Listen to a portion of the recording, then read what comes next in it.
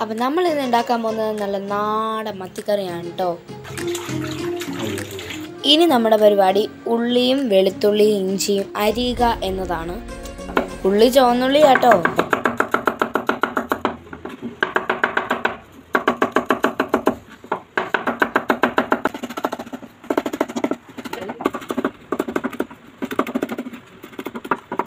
അടുപ്പിലെ കലാപരിപാടികൾ ഇനി തുടങ്ങാണ് കേട്ടോ അപ്പം നമുക്ക് ഫസ്റ്റ് എണ്ണ ഒഴിച്ച് കടുക് വറുക്കണം.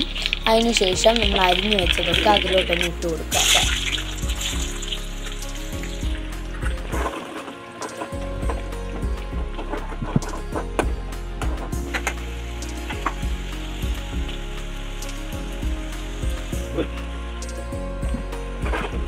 പിന്നെ നമ്മൾ കരിയാപ്പില ഇട്ടു വെളുത്തുള്ളിയും കൂടെ ഇട്ട് കൊടുത്തു.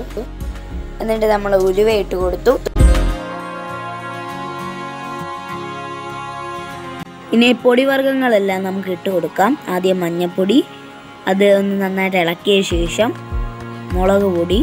മുളക് പൊടി ഇതിൽ നാല് സ്പൂൺ ഇട്ടിട്ടുണ്ട് കേട്ടോ.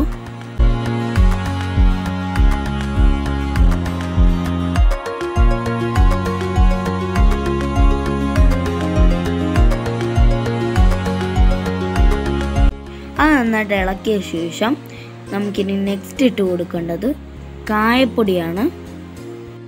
ഇതെല്ലാം നമ്മൾ ഇളക്കി കഴിയുമ്പോഴത്തേക്കും അതിലോട്ട് വെള്ളം ഒഴിച്ചു കൊടുക്കാം. നമ്മൾ ഇതെല്ലാം ചെയ്ത സമയത്ത് അവിടെ വെയിറ്റ് ചെയ്ത് മടുത്ത കുറച്ച് പേര് ഇരിപ്പുണ്ട് കേട്ടോ. അവരിലാണ് ഇനി നമ്മുടെ നെക്സ്റ്റ് പരിപാടി. നമ്മൾ പുളി ഇട്ടു കരിയാപ്പിലയും കൂടി ഇട്ട് കൊടുത്തിട്ടുണ്ട്. ഇനി അടുത്തത് അടുപ്പയിലിരിക്കേണ്ടത് അവരാണ്.